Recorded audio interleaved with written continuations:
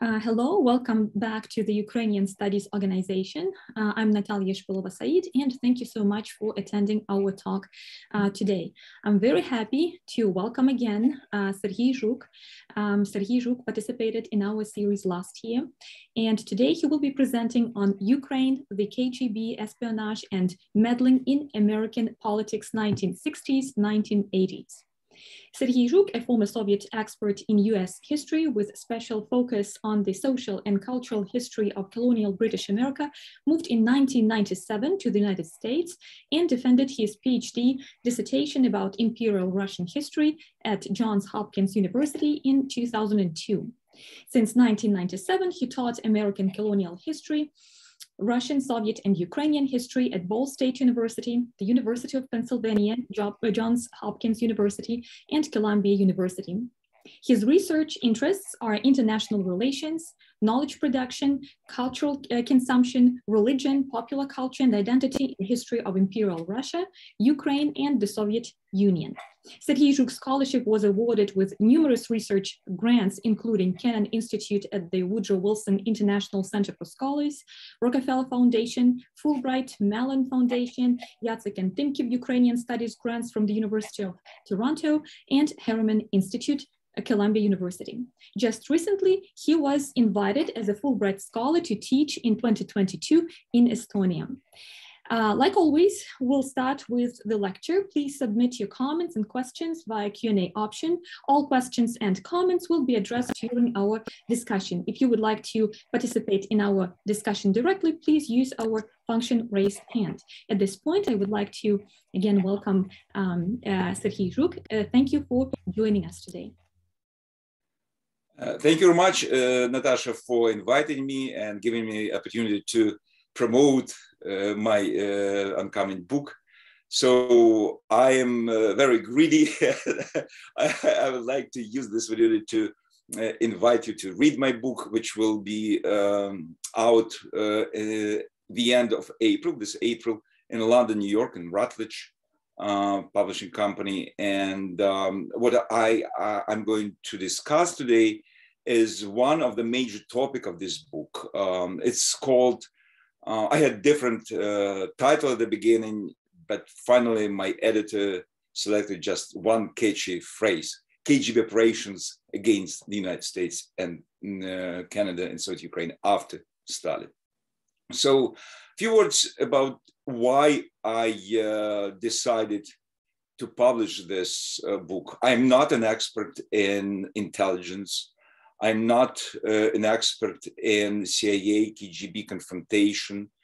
Um, I was not trained uh, in any way uh, as a historian of intelligence service or history of spying.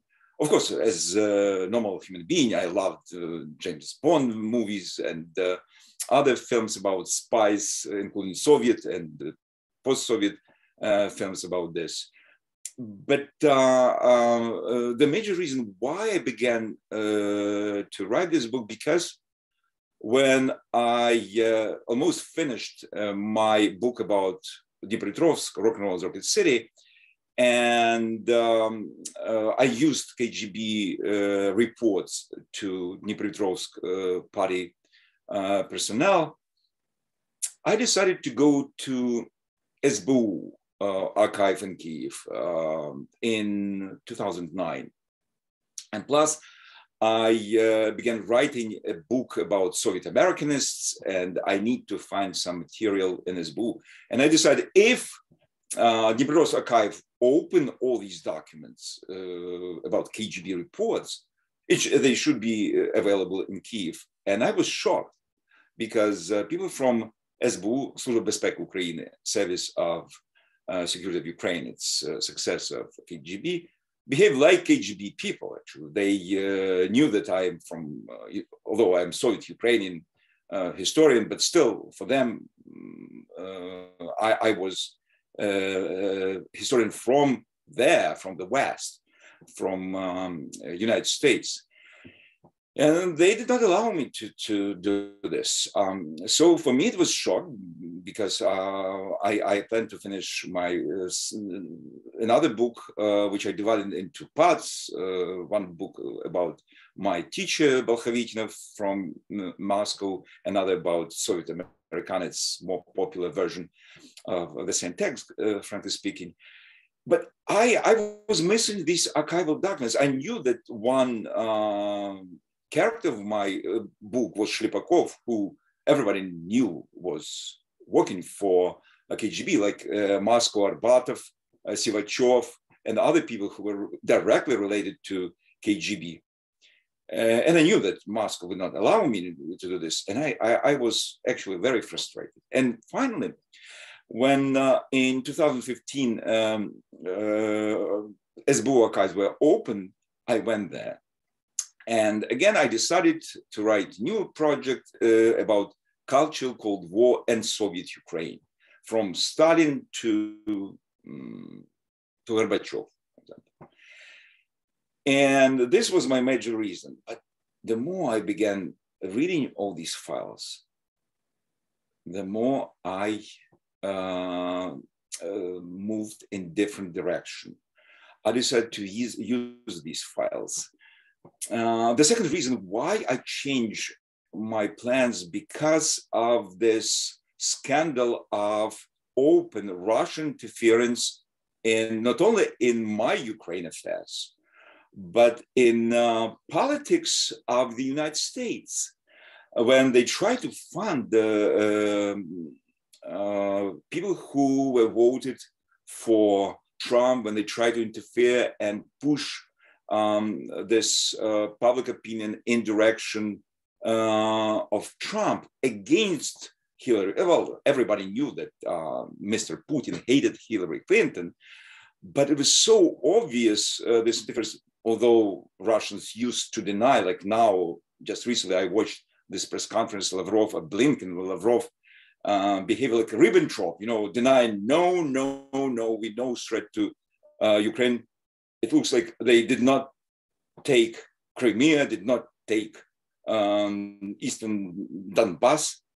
What is there? So, but anyway, so the second reason was to find something about a typical interference of KGB in political affairs of American uh, countries, North American countries.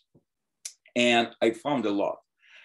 Uh, plus, um, I decided to uh, not to touch um, Trump story because it's it's very uh, popular, and you can go to Google and you can find a lot of material about uh, Trump visiting Leningrad in 1888, and you can find documents uh, of Intourist Soviet tourist agency paying for Trump and his wife in 1888.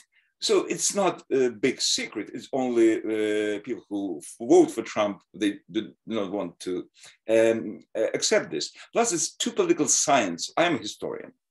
So uh, the, the second reason, this my just historian uh, curiosity about these connections of a Russian secret service, Soviet secret service, and American businessmen, American politicians um, uh, it, it's triggered my attention, and I found a lot of these uh, documents. First, uh, I found how, uh, for example, uh, Soviet KGB tried to fund uh, democratic candidates, representatives of Democratic Party in 1968 because Soviet Union was afraid of conservative Nixon in those days they hated Republicans and they tried to um, uh, use any candidate, especially Hubert Humphrey uh, from uh, the Democratic Party.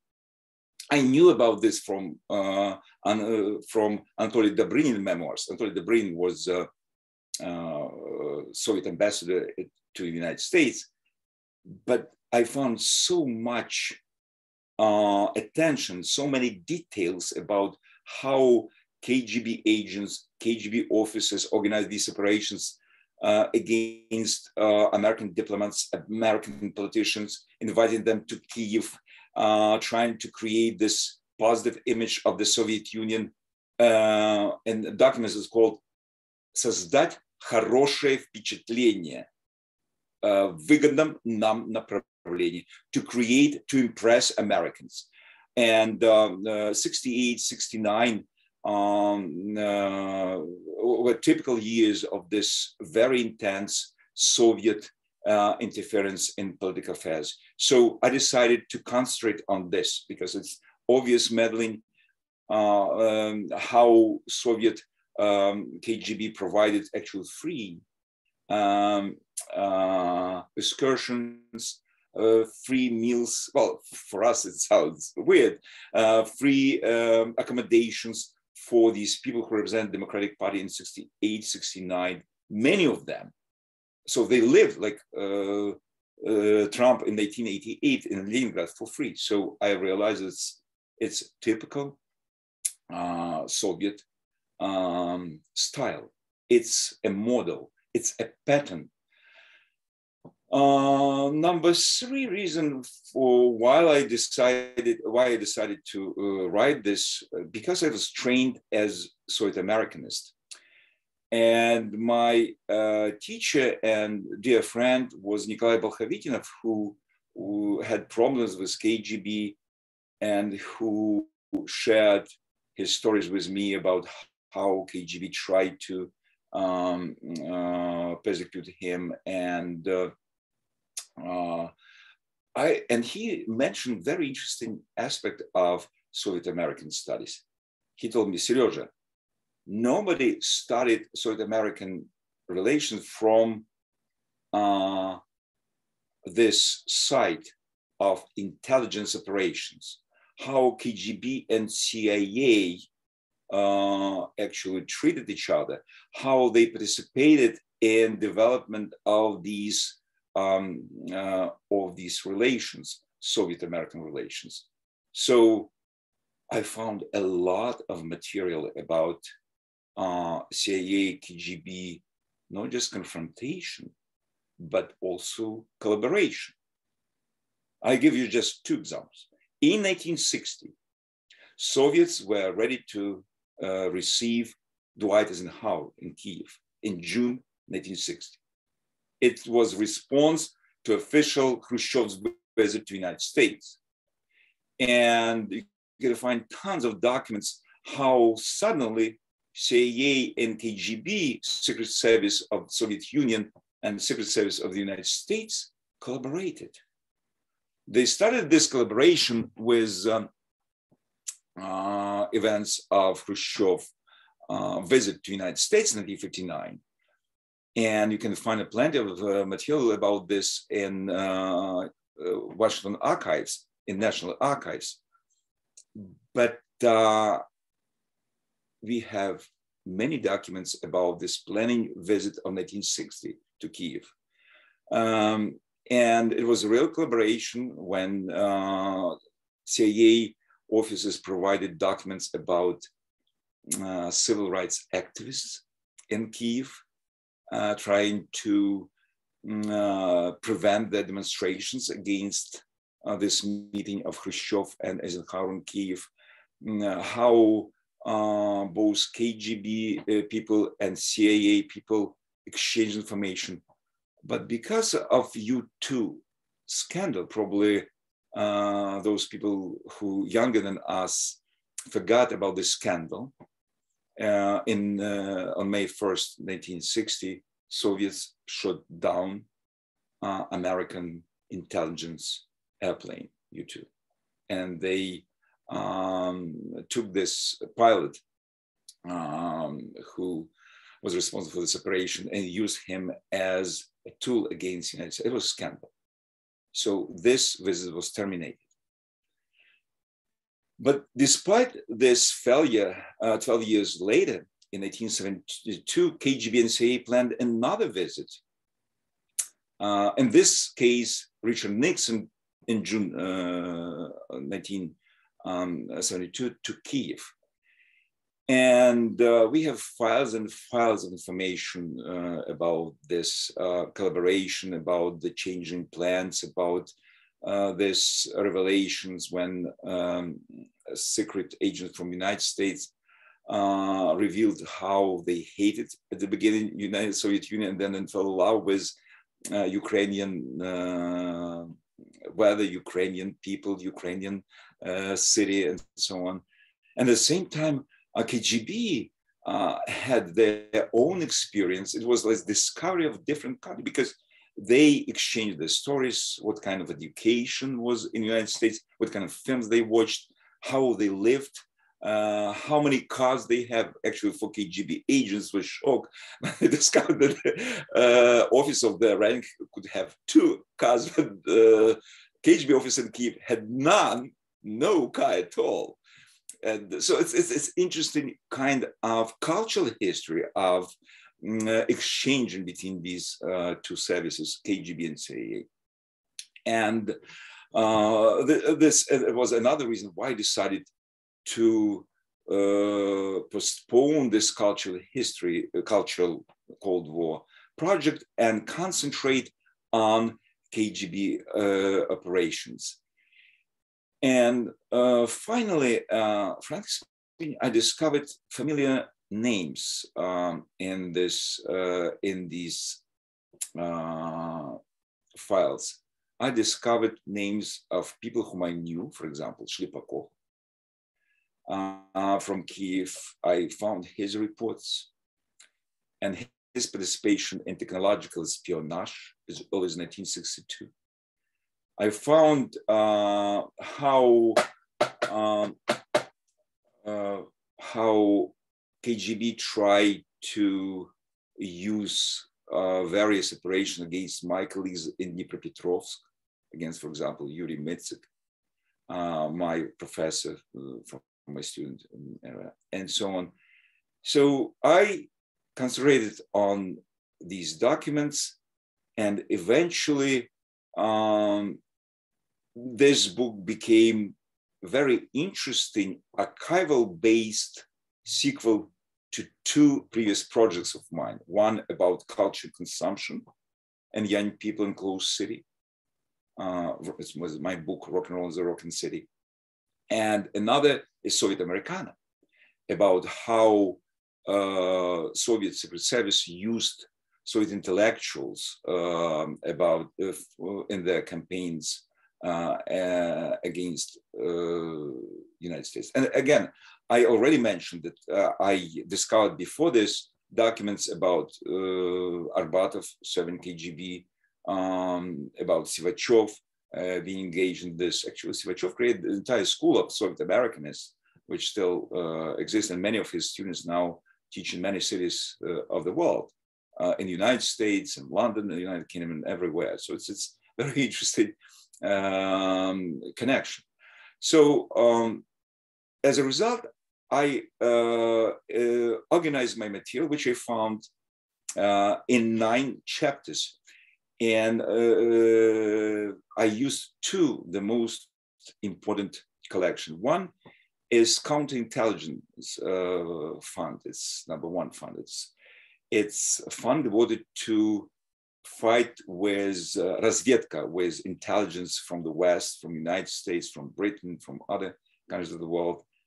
And the second uh, pile, it's huge uh, amount of documents, it's uh, correspondence between KGB leaders and um, Ukrainian Communist Party personnel, leaders such as uh, Shelest, uh, who was very actually very reactionary. We, we used to um, create this image, positive, nationalistic, uh, patriotic Shelest, but he was piece of, uh, sorry for this uh, language, uh, he was not very good and he hated America, hated any democratic uh, reforms. Probably you know better than I do how he um, supported Soviet attack on Prague Spring, participation and suppression.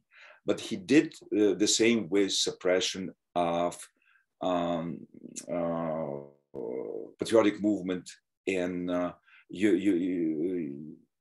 Soviet Ukraine. For me, it was shock. I knew about this legendary bloc uh, opposition, which was created under Sherbitsky KGB rule, but it's not true. According to my documents, uh, many documents which build this, actually, it's completely imaginary, you know, block, something like alliance against Soviet uh, Ukrainian culture. Uh, this uh, operation uh, against um, uh, Soviet intelligentsia in Ukraine uh, started under Shelest. do not forget that because we sometimes tend to idealize Shelest vis-a-vis Sherbitsky. Both represent the same trend. Only this guy spoke Ukrainian, this uh, was not. Um, and um, uh, this is um, another very important uh, moment which uh, I did. So my my my my, um, discovery. So I will concentrate on. We still have uh, time. I will concentrate on few major discoveries, which actually completely change my perception of KGB existence and KGB operation. Um, first, um, and it, it's it's very important. Uh, KGB was not just bunch of uh, ignorant, uh, stupid, um, anti-Western, uh, you know, people. It's not true. Yes, uh, local operatives uh, in Dnipropetrovsk, in Zaporizhia, in Kiev, who were involved in operation against uh, youth culture probably missed something. But the um, bosses and people who were connected to this uh, intelligence operation in America were not. They were uh, very intelligent. Uh, they used very important uh, information. For example, um, in my um, uh, chapter on Soviet use and um, KGB, I found wonderful exam uh, or wonderful study. Uh, it's called uh, examination, but it's study. Study of uh, young people, college people, college student life in six, 1968 Odessa with very good uh, sociological um, analysis, which discovered that as early as 67, Soviet young people were already commercialized, westernized, and very anti-Soviet. They use Komsomol Communist Party only for their own career. And it was a, a report to Shelest, and Shelest did nothing. So KGB officers told him how dangerous Americanization, Westernization of Soviet youth culture is early 1968. So Soviet leadership was lagging behind, not KGB. Uh, another uh, discovery for me was uh, how successful KGB operations were against two major enemies um, Ukrainian diaspora in America and uh, Jewish diaspora in American Israel.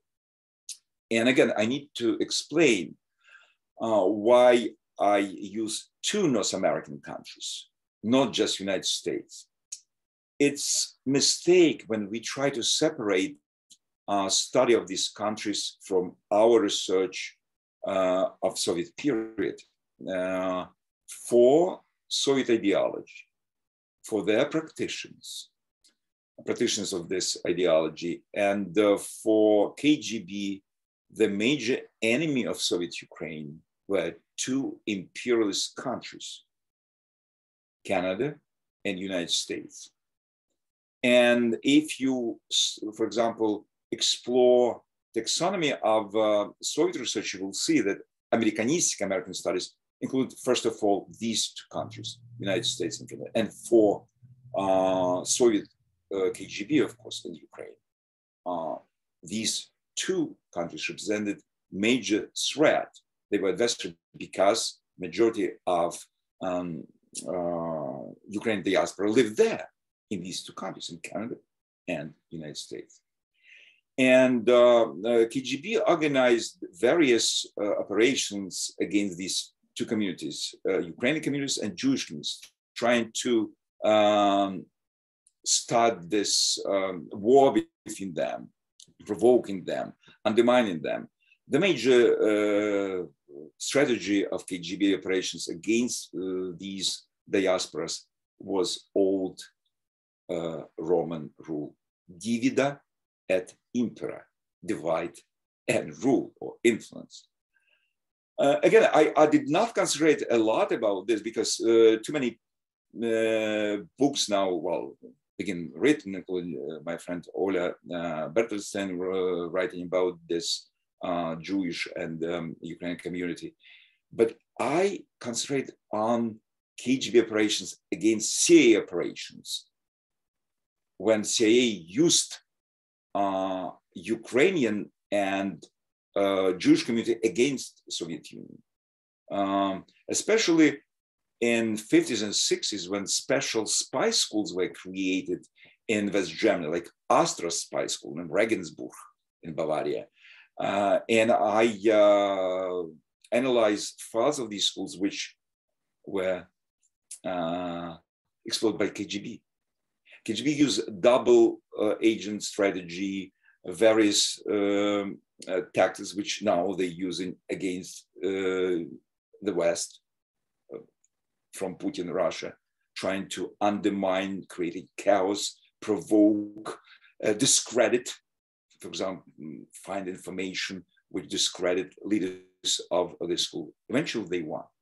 By 65, according to my research, all major CIA operations from West Germany using uh, so-called Ukrainian nationalists, Banderovites, failed because of successful KGB operations.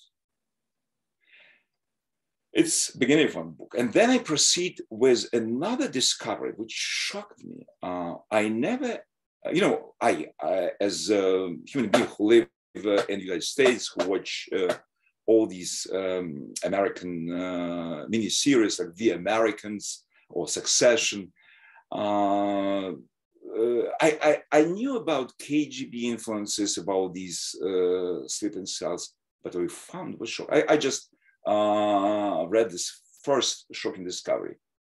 My first shocking discovery was a number of KGB spies to the United States and Canada from Soviet Ukraine during the 1960s and the 1970s. According to the annual KGB reports, the most important goal of the KGB administration was to prepare the well-trained agents for the intelligence work abroad. Only during one year of 1969, I'm quoting uh, KGB documents, the Ukrainian KGB sent its 23 agents in various international organizations located in the United States. 200 KGB agents traveled in the United States as research specialists, collecting the intelligence information there. 40 KGB operatives worked abroad for hiring the foreigners at the future KGB agents. KGB agents had been already implemented in the US intelligence, 10 of them. 12 of them were implemented in uh, various colleges and universities in United States and Canada. 40 KGB operatives uh, worked abroad for hiring the foreigners as the future KGB agents including people from both Ukrainian diaspora and Jewish diaspora. Um, uh, two implemented in the Zionist and clerical groups in the USA and Israel.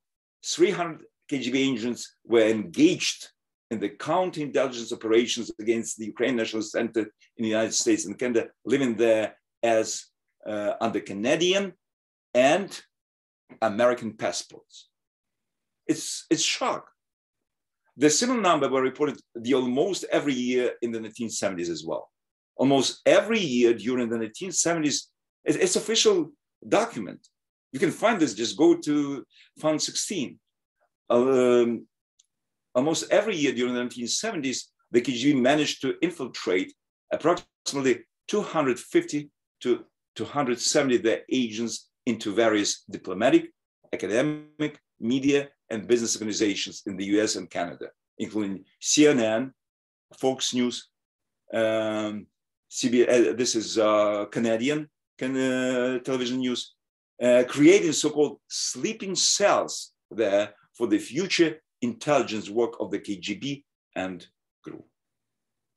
So again, it's not, uh, you know, I, I, I, was shocked when uh, I found this. Then I proceed with direct um, meddling of uh, KGB to into Canadian and American politics. For example, uh, I uh, found how they used left or communist Ukrainian Canadian Canadians and Ukrainian Americans. You need to, to understand that almost half or more than half of all communists in Canada are and were and still are of Ukrainian origin.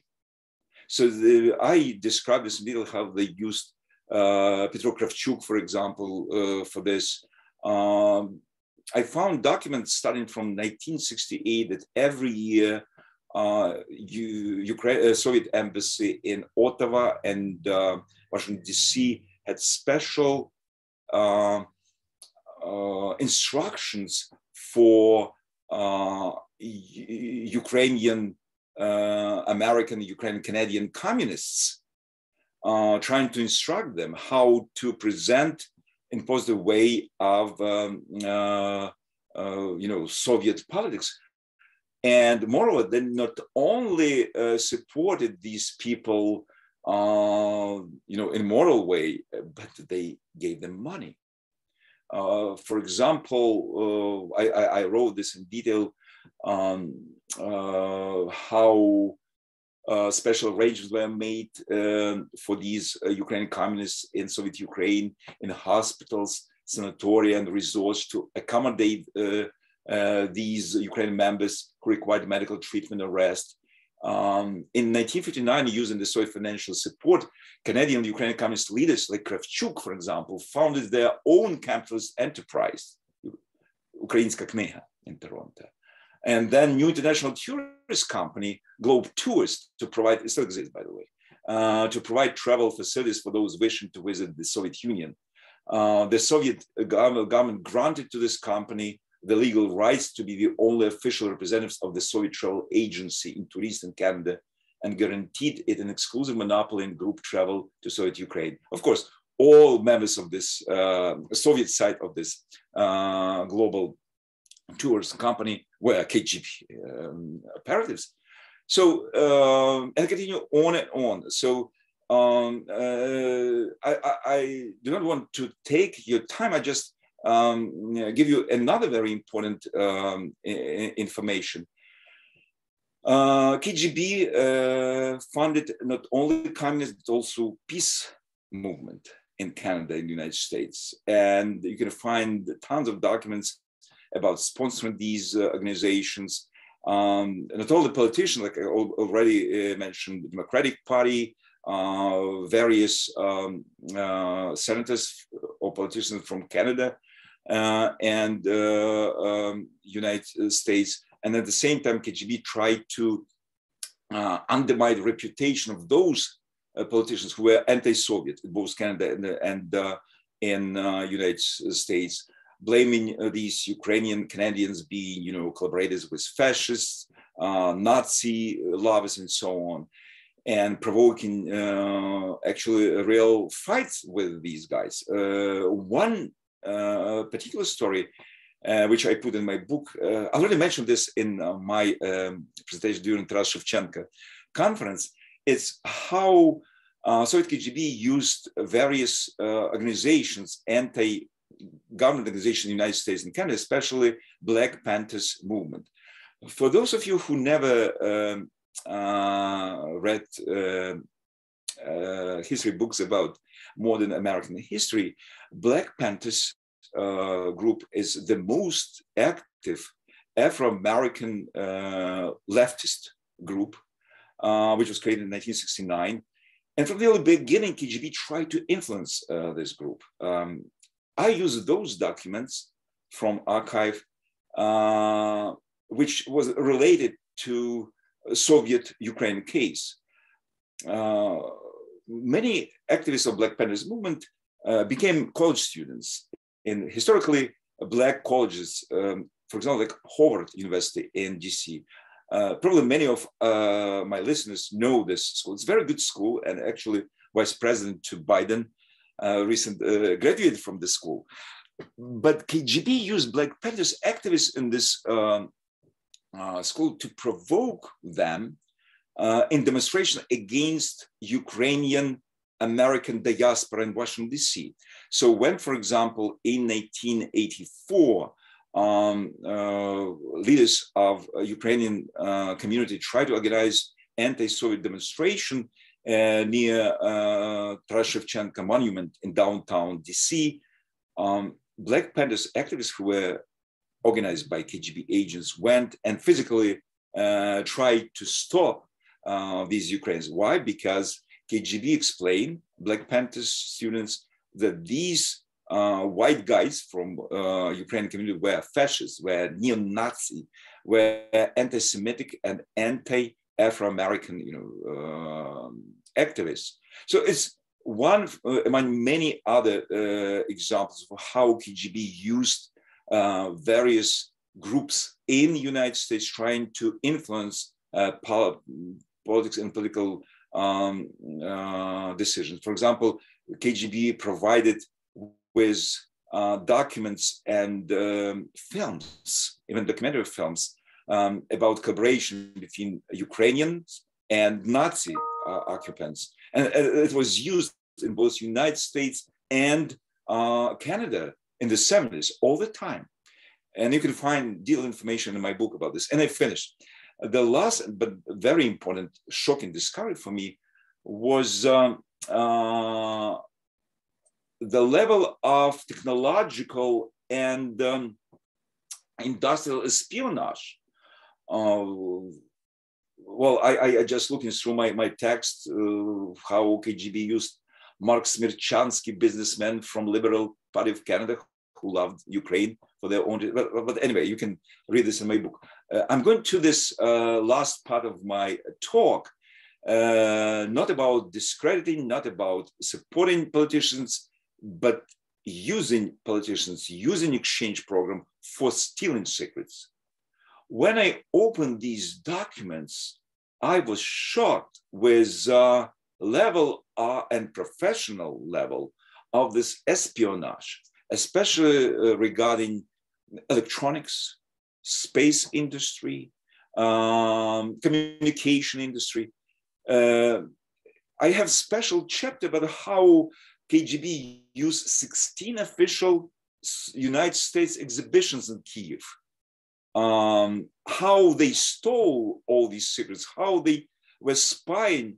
They didn't care about uh, various problems of uh, Ukraine uh, patriots, uh, Jew, Jewish Zionists, national. No, they cared about how to steal, how to use, and how to implement uh, these uh, uh, these secrets.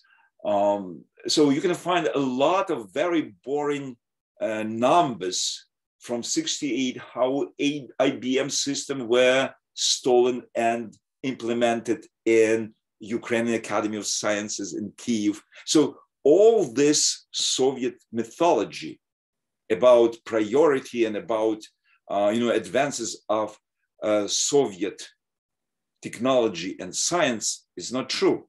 It's mythology. Uh, what Soviets did, they stole these secrets. Uh, so um, uh, I uh, discuss every year from 68 to 85 how much Soviet KGB stole and how they implemented this in Kiev High Military Aviation Engineering School of the Soviet Air Force, in uh, uh, Institute of Cybernetics of the Academy of Science of Ukraine as, uh, a science, so on. So according to my research, and I quote my book, between 1965 and 1987, almost 90% of all so-called technological innovations, Soviet innovations, in all research institutes and the factories of the military-industrial complex of Soviet Ukraine, including my Yuzhmash, Pivdenmash in, in, in Dnipropetrovsk, were based on the stolen information from the capitalist countries by the specially trained KGB agents. And at least 80%, 80% of all those secret samples of important technological inventions came directly from the United States of America. Paradoxically, a majority of these technological secrets were stolen from the American laboratories and colleges by the Soviet engineers and scientists who participated in the international academic exchanges programs and who executed the KGB orders performing the functions of the Soviet spies on the American soil.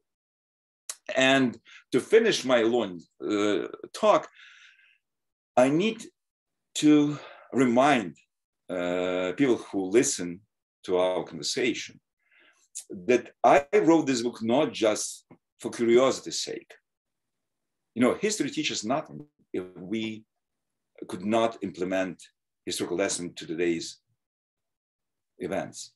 And what's going on today, how Putin's administration tried to lie and uh, try to create this fake news. I just yesterday tried to compare Ukrainian news and Russian news, and I was shocked. It's complete disinformation from Russian side. And today's meeting of Blinken and Lavrov, it's another proof that old traditional Soviet legacy to discredit, to undermine, to uh, create chaos in the countries of political adversaries is still working. And all this is covered by lies, by campaign of peace talk. I, I explain all these events of 70s and you need to remember that these events were, were taking place on the ground of detente, relaxation of relation with the United States and uh, Soviet Union. And this, this is very uh, important uh, reminder for us how we should be careful today with official propaganda and we need to learn from history how nothing is new under the sun. Thank you. I'm ready to answer your questions. Thank you, uh, thank you, Sergey. Thank you so much for this exceptional revealing information. Uh, we can proceed to our uh, questions. And as I mentioned before, if you would like to participate in our um, discussion directly, uh, please use function raise hand and uh, I'll promote you to a panelist status. But so far we have a couple of questions in our Q&A uh, box. Um, I'll start with Walter Deshko. And if you don't mind, I'll read it out, his question. I'll start with the first one. When I was interviewed by a CSIS agent in Toronto in 1991, I was told that every single Ukrainian organization in Canada has a high place Russian mole or asset. Asked why they don't arrest them, then reply was, we know who they are and the diaspora would be in shock if they ever found out. And since then have been suspicious of certain individuals that behave uncharacteristically. I, I suspect the same situation exists in the USA. Did you find evidence to these KGB documents archives? Yes.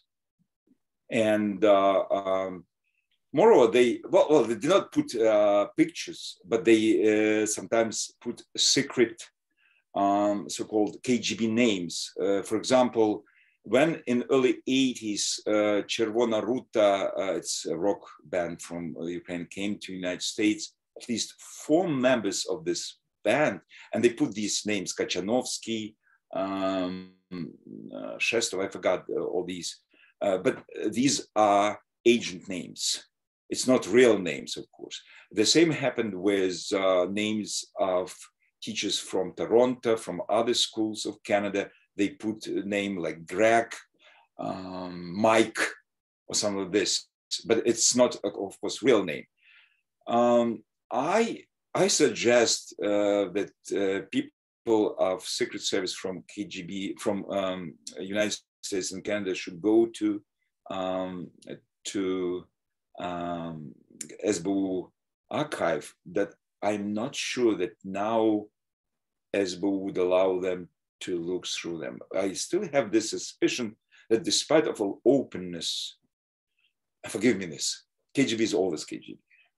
And unfortunately, uh, well, with all this new approach, for example, I could not uh, have access to some uh, documents which I required, frankly speaking. But but you can try. Um, there is another question from Walter as well. Uh, did you find evidence of reflexive control of fake projects against the North American Ukrainian diaspora in the Demjanjuk affair? You know, they uh, they have this these documents, but you need to dig uh, deeper. Uh, again, uh, for me, it was the first scratch of these documents. I was so enthusiastic. You know, I remember um, I began this um, uh, research because my former students, who are historians now and teach in different schools, I, I, I was professor Dnipropetrovsk probably. Um, you forgot about this. I have many historians, very patriotic historians like Oleg Repan, who was fighting with um, uh, Russian aggression in, in Donbass, who actually advised me to go there and uh, so I began this and I, I, spread the news to all my colleagues, to Ola Bertelsen, to other people, go there and uh, fight, but uh, and, and uh, dig, excuse me. And um, I started this. So this is my first scratch. I still have uh, piles of, of these uh, documents in my in my office here in Indiana. but you need to understand that it was 2018 they actually help us. They provide us with digital copies of these documents for free. Can you imagine this? Entire um, uh, file 16, uh, this correspondence between KGB and political leadership of in Kiev, uh, could be available on digital uh, um, uh, in digital form, but not uh, counterintelligence file. this is I just uh, make photos and uh, but uh, yeah unfortunately i did not dig deeper so it's like the first take of what i did Thank you. And uh, we have a comment and a question from Hiroaki Kuromiya. Mm -hmm. uh, thank you for such an illuminating and instructive talk. This is a commentary and one question. First, I hope that some of our academic colleagues are shaking in their pants in fear of revelations of their true colors. Second, in a sense, your revelations are not particularly shocking to me. Konovalets was assassinated by Sudoplatov, who infiltrated OUN. Some branches of OUN um, in the 1930s were headed by a Soviet agent. Third, which is a question, Soviet intelligence penetrated not just communist and leftist organizations, but also rightist and even reactionary organizations. Is there any evidence to this in the Ukrainian archive? Yes. Uh, especially they tried to use uh, this very right, so-called Banderite group of Melnik uh, against Bandera, and uh, their major idea was divide et impera, or discredit this. Um, in first part of my book, I uh, wrote these spy stories, these wonderful spy stories about how double agents work, how they discredit uh, Stetsko, uh, Bandera, and all. You know, it, it's it's interesting how all these operations worked uh, using women, uh, men, using sex, uh, um, drugs, alcohol, and so on. Yeah, you're right, but uh, uh, I uh, concentrated on Kravchuk's story because I had already had these documents and I worked with uh, Petro Kravchuk's uh, uh, daughter. She's my friend, Larisa uh, Stavrov. She gave me a lot of documents from her father archive. So I, I try to use this.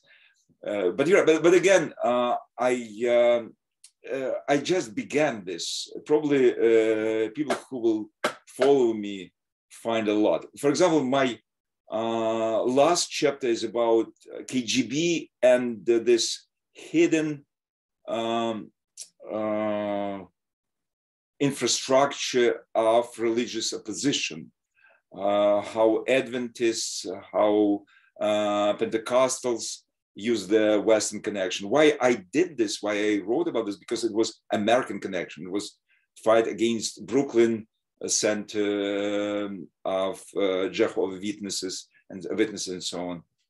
So, uh, frankly in my talk, I did not cover uh, the story about hippies and punks. I already told uh, this in my previous lecture, and not about these so-called forbidden lectures where um, uh, different evangelical groups, uh, Jehovah Witnesses, were used uh, by KGB for provoking. And uh, as far as I remember, Hiro used the documents about Stalinist uh, persecution of um, uh, Ukrainian evangelicals in the 50s. So I, I remember your wonderful book about this. Yeah, thank you. We have one more question from Sofia Asher. You mentioned that you can compared news from Ukraine and Russian sources. Could you please give an example of what news sources you used? Thank you. Uh, just uh, two files, uh, two funds. One, fund number one, counterintelligence uh, operations. And as far as I remember from what I read, nobody used this before. And of course, um, uh, half of my book, or two thirds of my book, is actually citation, quotation of these documents and analysis of these documents. I had no time to analyze everything, frankly speaking. And um, uh, one third of my sources came from Fund 16. It's available, and uh, many people used this before um, or simultaneously with uh, my efforts, like Ola uh, Bertelsen or um, uh, Julian Fürst in her wonderful book about hippies. Um, he used some of these, not very many, but some of these SBU documents. But it's uh, 16, font 16. Uh, thank you. Uh, thank you, Sergey. And I believe we have uh, time for one more question and uh, I'll allow myself to ask this question. Um, so in your talk, you uh, mentioned that some KGB agents were of Ukrainian origin and you found it important to underline. And it's more like a provocative question, right? Uh, I also believe it's important to underline the fact that some KGB agents specifically in this situation were of Ukrainian origin. But when we talk about um, teaching history of of the USSR, usually KGB agents I just presented as Soviets in the best case, in the worst case, uh, Russian, uh, Russian agents, although they uh, could be, for example, Ukrainians.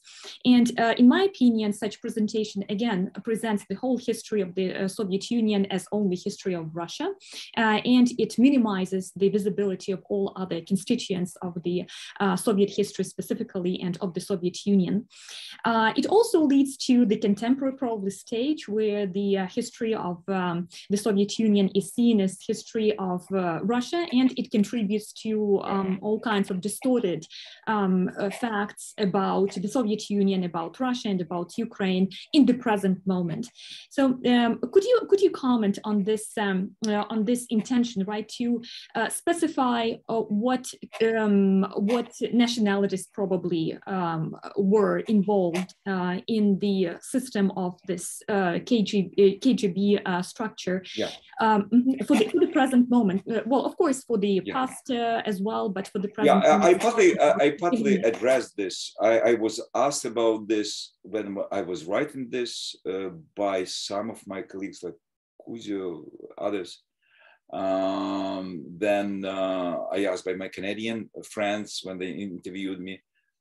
Uh, it's interesting that before uh, 40s, um, et- ethnically, many of these people who were in NKVD, uh, GPU, and uh, KGB before it became KGB in figures like MGB under Khrushchev were either Russian or Jewish origin. Um, but uh, frankly speaking, it's interesting that after 50s, majority of KGB operatives, and this undermined this very romantic image of a Russian KGB vis-a-vis Ukrainian. Majority of these people were Ukrainians and Jewish.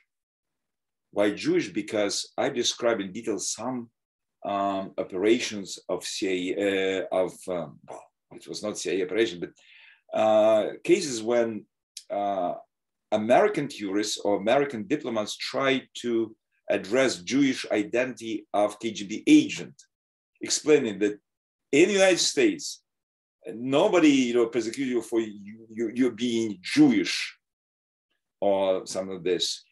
And uh, so uh, at least one third of uh, this um, personnel were Jewish and uh, two thirds were mostly uh, Ukrainians with, of course, Russians.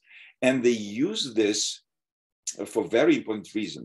Uh, many people who penetrated Ukrainian diaspora had to speak fluently Ukrainian. Don't forget this. So we sometimes tend to forget that uh, Ukrainian Soviet Republic was the most, it's another paradox, uh, conservative republic of the Soviet Union. And the pressure against patriotic intellectuals were much bigger than in Russia uh, or other republics. And Ukrainian patriots suffered probably more in uh, Ukraine, especially after Khrushchev reforms, than in, in uh, Russia. I wrote about this in my book about Dnipropetrovsk. Why? Because we sometimes forgot that many uh, these people who became famous representative of Ukrainian intellectual position, you know, put together in this so-called bloc organization, were actually very sincere Marxist patriots, but who loved their land. Um, I devote an entire chapter of my book on the Dnipropetrovsk about this paradox. But after persecution of KGB, when they punished them not for um, you know Americanism, for like these all these hippies or punks, for their Soviet patriotism. They were Soviet Ukrainian patriots. And these guys, who sometimes uh, graduated from Moscow State University, many of them, you know, in our Rukh movement, for example, they became anti-Soviet because of the persecution. So KGB, to some extent, prepared this patriotic anti-Kremlin uh, movement. So my, as a historian, I will disagree with you about this Soviet legacy. We became patriots because we suffered from the regime.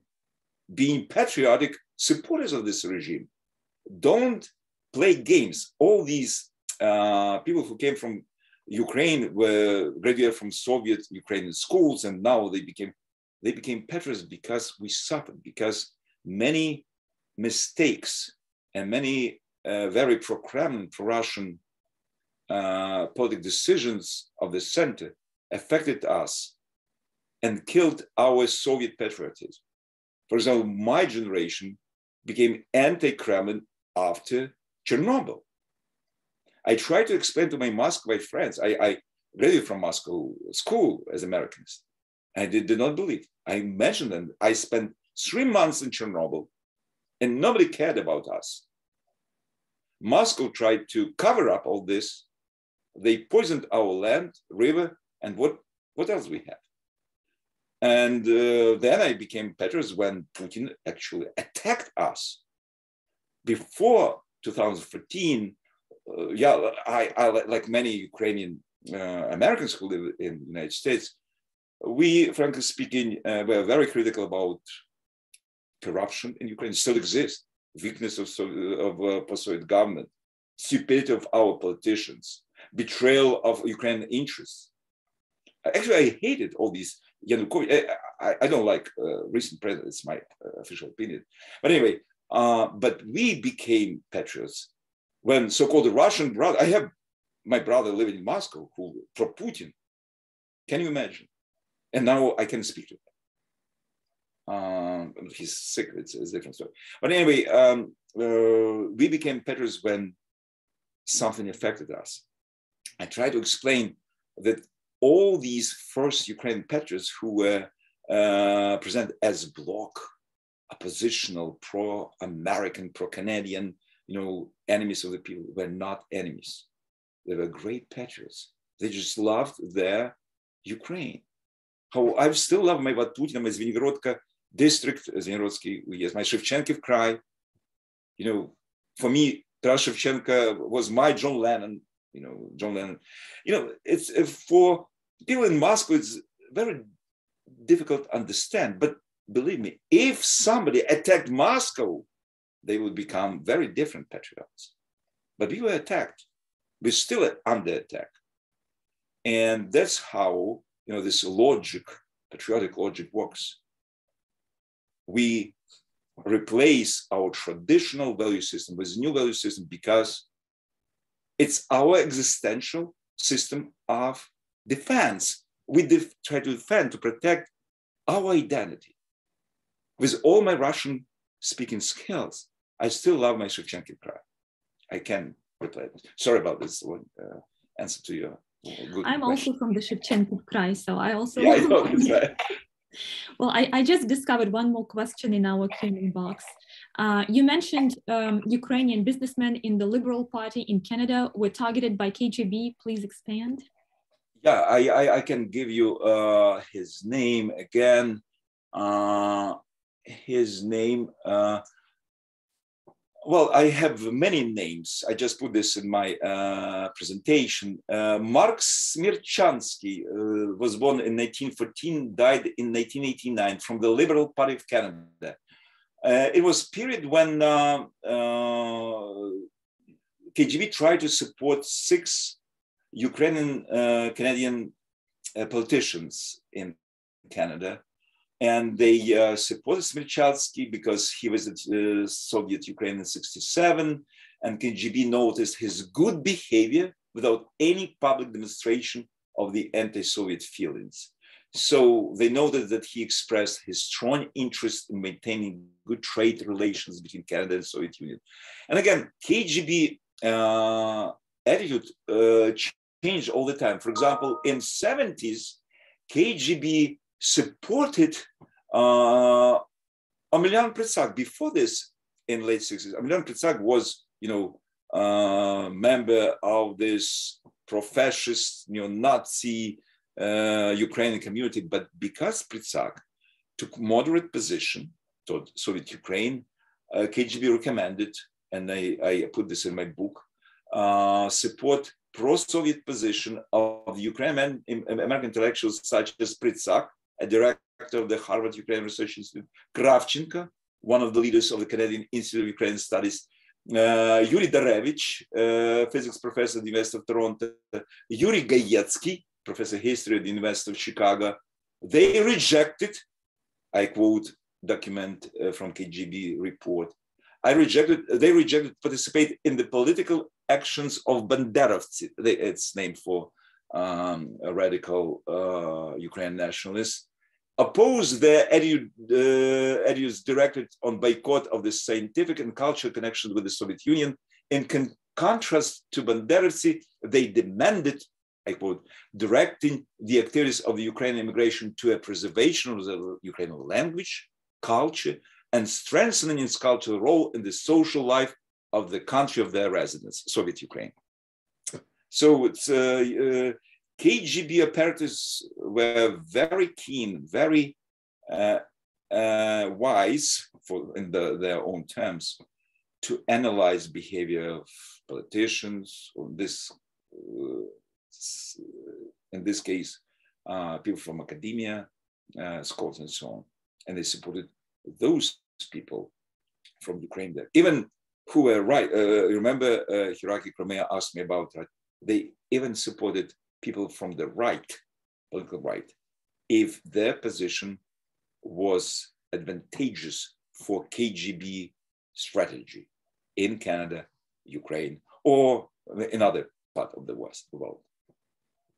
Well, thank you so much, Saki, for this conversation today, and thank you for opening our uh, spring sessions for our UkrSO talks. And of course, congratulations on your upcoming book, and I'm really looking forward to reading this book, and uh, I hope that we will have another conversation for the New Books Network.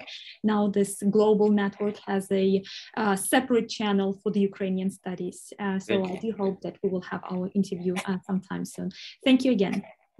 Thank you very much, Natasha, for having me and promoting my book.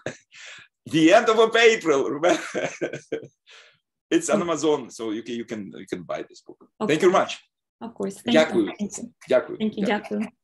Uh, thank you for attending our lecture today. Serhiy Zhuk uh, today presented on Ukraine, the KGB, espionage, and meddling in American politics 1960s, 1980s. Information about upcoming events will be posted on the UkrSO listserv and on our Facebook page, Ukrainian Studies Organization at Indiana University.